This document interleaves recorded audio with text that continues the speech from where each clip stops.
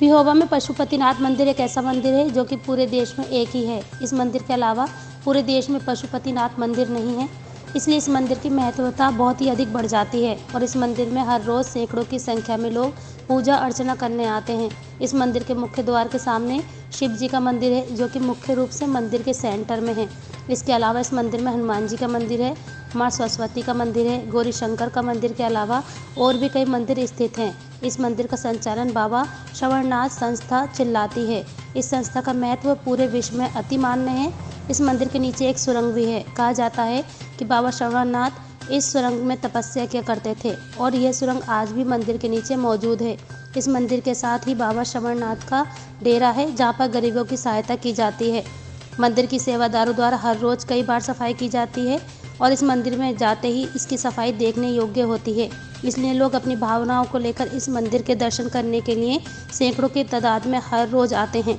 इसके अलावा बाबा श्रवणनाथ संस्था दो स्कूल भी चलाती है।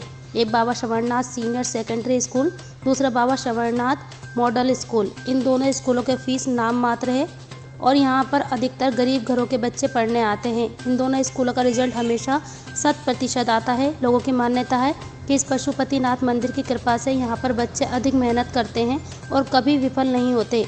इस मंदिर के अलावा दूसरा पशुपतिनाथ मंदिर नेपाल में है।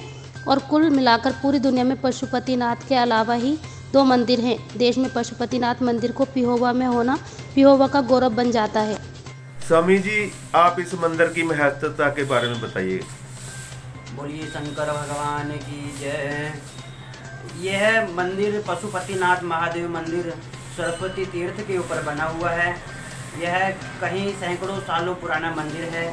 नेपाल के बाद पूरे भारतवर्ष में एक यही मंदिर है जो भगत लोग नेपाल आदि दर्शन करने नहीं जा सकते, वह पशुपतिनाथ महादेव के दर्शन यहाँ पेवा तीर्थ पर पशुपतिनाथ महादेव के दर्शन कर सकते हैं। इस मंदिर के द्वारा बाबा स्वर्णनाथ महादेव विद्या मंदिर है जो मंदिर की तरफ़ से ही चलाया जा रहा है। इस मंदिर में कितने लोग आते हैं? कितने भक्त आते हैं? इस मंदिर में सैकड़ों भक्त हर रोज दर्शन करने आते हैं। मंदिर के एक कोने में दक्षिण मुखी हनुमान जी का मंदिर है जो बड़ा ही विश्व प्रसिद्ध है। अनेक भक्तों के यहाँ पे कार्य बनते हैं और दक्षिण मुखी हनुमान के दर्शन करने मात्र से ही अष्ट अष्ट अष्ट धातु की यहाँ पे भगवान हनुमान जी की मूर्ति है।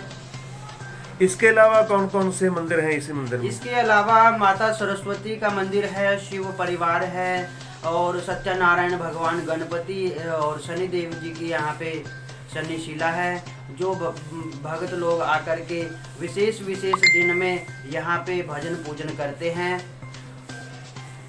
बाबा स्वर्णनाथ जी, जो कई सैकड़ों साल पुराने यहाँ पे एक साधु के रूप में थे, उन्होंने महादेव की यहाँ पे स्थापना की। और यहाँ पे बाबा शरणनाथ की गुफा है, जिसमें जिसमें जो है बाबा शरणनाथ जी तपस्या करते थे। आज भी जितने भी प्रकार के मंदिर बनते हैं, वो किसी न किसी मतलब स्वार्थ से बनते हैं। यह मंदिर एक ऐसा वो है, जो तीर्थ के ऊपर बनाया गया था विशेष तौर पे साधना के लिए। यहाँ पे बाबा शरणनाथ जी ने तपस्या की है और यहाँ पे आने वाले भक्तों के कार्य सिद्ध होते हैं। ओ मंगलम भगवान विष्णु मंगलम गरुड़ ध्वजा मंगलम पुंडरी काक्ष मंगलाय सनोहरी।